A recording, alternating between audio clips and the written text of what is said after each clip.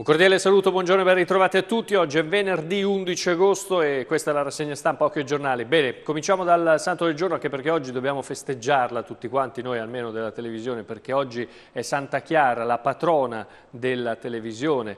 Eh, il sole è sorto alle 6.07 e tramonterà alle 20.19 minuti. Per quanto riguarda il tempo, la giornata di oggi eh, si preannuncia con un cielo sereno poco nuvoloso, anche se la, la nuvolosità aumenterà dal tardo pomeriggio, eh, quando saranno possibili anche brevi rovesci o isolati temporali più probabili sulla fascia costiera e collinare, anche se dalla grafica della protezione civile, vedete nel vostro televisore a casa, eh, è limitata alla zona del Conero, limitata alla zona diciamo, centrale della regione Marche, però staremo a vedere. Le temperature sono in diminuzione, i venti moderati sud-occidentali con raffiche fino a burrasca nelle zone interne. Anche ieri per esempio sembrava che dovesse arrivare chissà cosa e invece solo un po' di tuoni in lontananza e poi non, eh, nulla di che. Sabato invece, domani, Domani il cielo sarà irregolarmente nuvoloso con addensamenti cumuliformi. Le eh, precipitazioni saranno con rovescio temporali sparsi al mattino, fenomeni in esaurimento il pomeriggio. Le temperature sono in diminuzione, i venti da settentrione di brezza tesa e moderati lungo la costa. Il mare sarà quindi domani mosso. Come si prospetta la domenica? Eccola qua, domenica di sole con temperature che aumenteranno lievemente nei valori massimi, i venti saranno di brezza tesa, di brezza leggera, il mare sarà poco mosso. Allora avremo un tempo stabile o soleggiato almeno eh, per la prima parte della settimana prossima, con temperatura, temperature in graduale rialzo. Allora cominciamo a leggere i giornali, partiamo dal resto del Carlino di Fano.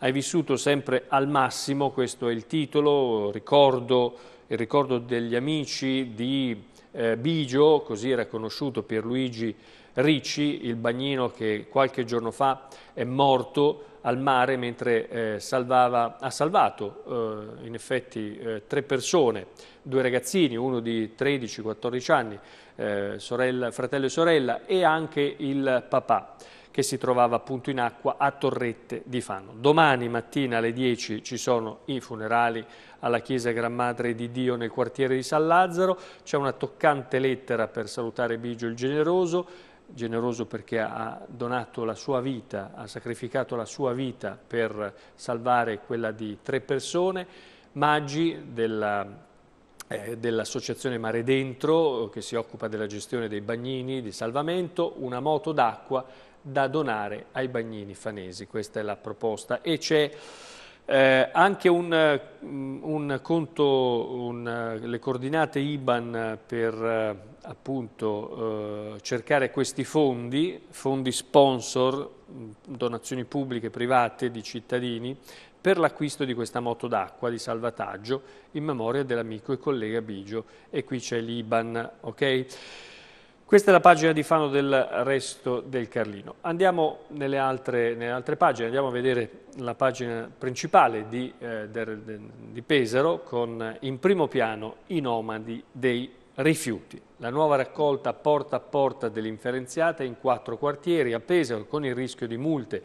Ha rilanciato l'abitudine di andare a smaltire nei cassonetti degli altri, un'abitudine per esempio che c'era anche a Fano fino a qualche tempo fa, poi una volta tolti tutti i cassonetti dell'indifferenziata il problema chiaramente è stato risolto. La pioggia ed il mare mosso invece non spengono le candele, ieri giornata dedicata alla notte di San Lorenzo, a Ponente eh, l'alta marea ha creato qualche problema, Migliaia però di pesaresi vestiti di bianco hanno festeggiato la notte di San Lorenzo cenando su 7 chilometri di spiaggia. L'evento, come dicevo, è stato turbato un po' dal tempo dispettoso del pomeriggio quando è caduta anche un po' di pioggia. Poi sono, questi sono i giorni del ROF, i giorni del Rossini Opera Festival.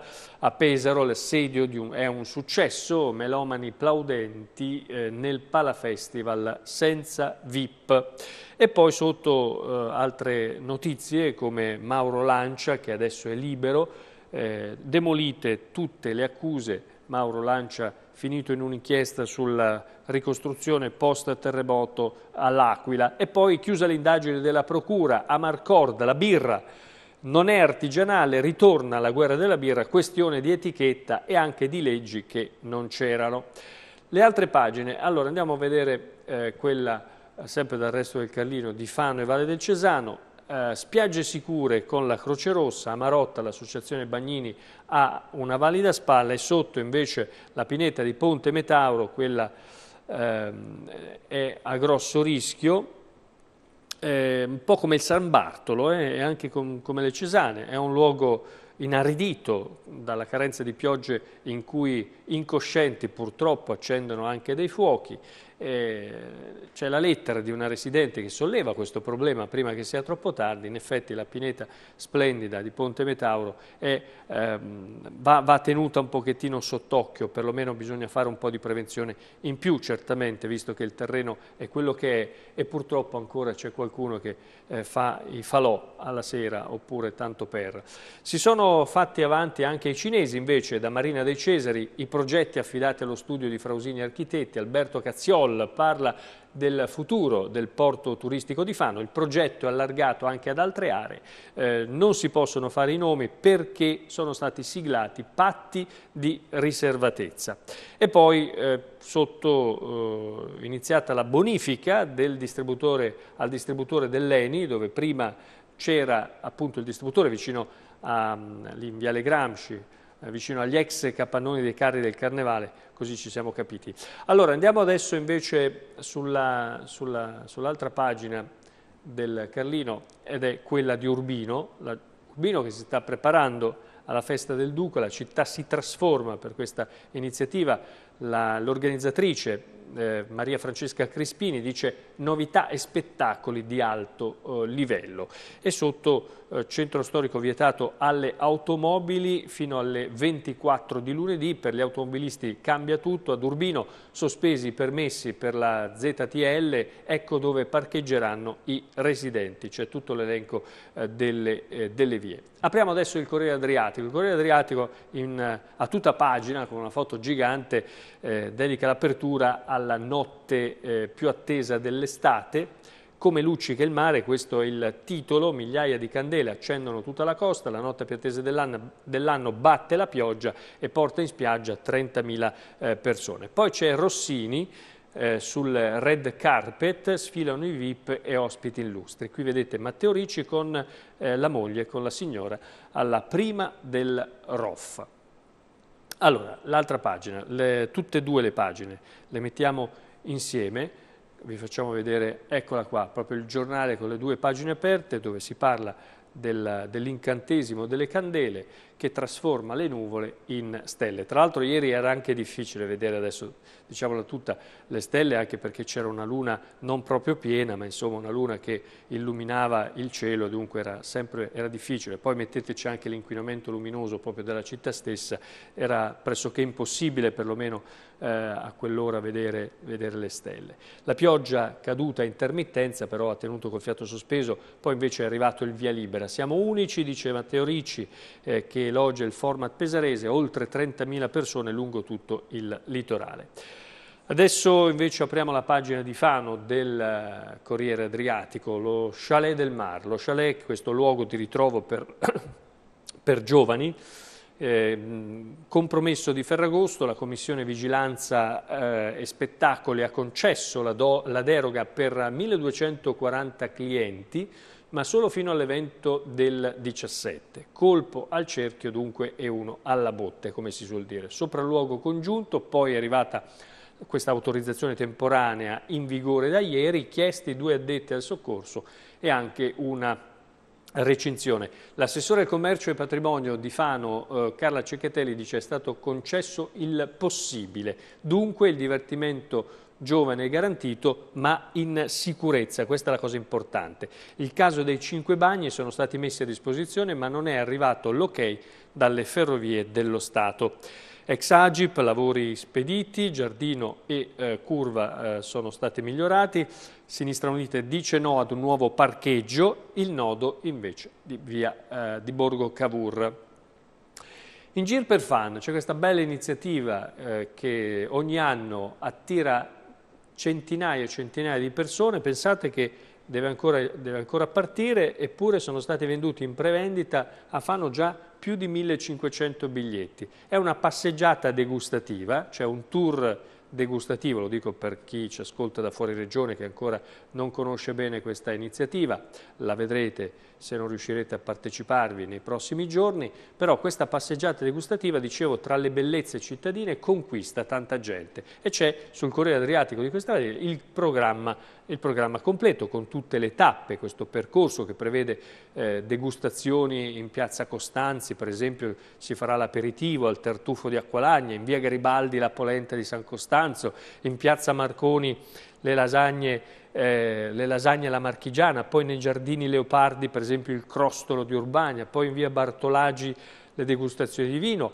ormai ci sono, arrivo fino in fondo, al Pincio la salsiccia nostrana e poi nel pressi della cattedrale la eh, pesca di, eh, o la pesca di Monte Labate e poi in piazza 20 settembre il caffè alla Moretta, tanto per, per chiudere. Ok? Quindi insomma, così avete capito. E questo lo si farà eh, andando appunto in una sorta di tour a piedi, eh, si farà arrivando a tutti questi stand e poter, si paga un biglietto all'inizio, ma già ne abbiamo venduti più di 1500, quindi se avete intenzione di partecipare eh, fatelo eh, in fretta. È uno spot, ma non faccio lo spot all'iniziativa, faccio spot alla città soprattutto, perché poi mangiando si gustano anche le vie, il centro storico ed è quindi una promozione alla città. Dalla spiaggia al gol più cliccato, sempre sulla pagina di Fano, la leggerezza di essere cazzola, un'estate fa eh, faceva il bagnino, oggi è tornato protagonista con una rete che fa impazzire il web. Cazzola ha 35 anni, Cazzola è questo eh, ragazzo qua, mentre Cornacchini eh, è l'allenatore eh, famoso eh, Giovanni Cornacchini. Allora, ehm, c'è tutta la storia, il racconto di, di, di quello che ha fatto, eh, di quello che non ha fatto. Insomma. Poi Rosciano Country, un'altra festa invece che è partita due giorni fa e che sta entrando nel, nel, nel vivo, se vi piacciono le atmosfere stile Far West, eh, ecco, sappiate che a Rosciano, questo quartiere di Fano, c'è questo, questa festa che si concluderà domenica con tutte le, eh, con tutte le atmosfere diciamo, legate al country, al far west. E adesso ci sono anche le reginette da 7 a 28 anni e sono quelle premiate, qui c'è la fotografia di la fotografia di gruppo.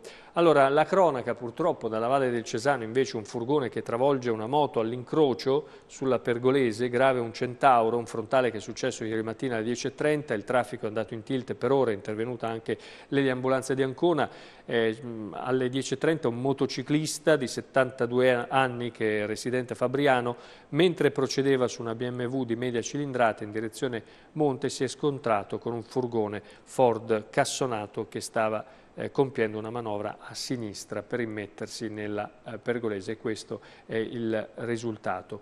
Andiamo adesso invece sul, uh, sulle ultime pagine del, eh, del Corriere Adriatico. Intanto la notizia da Pesaro e provincia che eh, c'è uno stop ai prelievi su tutto il bacino del Metauro, il divieto sarà esteso anche all'area del Foglia, la sospensione partirà da lunedì prossimo, naturalmente tutto questo a causa della siccità, del fatto che non piove.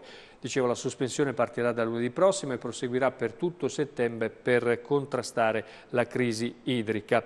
Un drone invece, un drone sarà in volo sul Monte San Bartolo per sondare lo stato della falesia. Oggi ci sarà un nuovo sopralluogo, restrizioni su tutto il colle per il rischio degli incendi. E sempre da Pesaro l'altra notizia è quella che riguarda eh, un giovane che è stato salvato dai carabinieri mentre era in bilico sui binari della eh, ferrovia. Eh, intorno alle 23.15 è successo di mercoledì sera, sono intervenuti i carabinieri del radiomobile che si sono trovati davanti a una scena appunto molto eh, particolare. I racconti, il racconto di questa, di questa scena sul quotidiano di questa mattina che troverete in, in edicola. Ok, io direi di fermarci qui, il nostro tempo a disposizione per la rassegna stampa e la lettura del giornale è finito, vi auguro una buona giornata e vi do appuntamento questa sera alle 20.30 con il telegiornale Occhio alla Notizia. Se avete segnalazioni chiamateci, scriveteci al 338 4968 250. Buona giornata.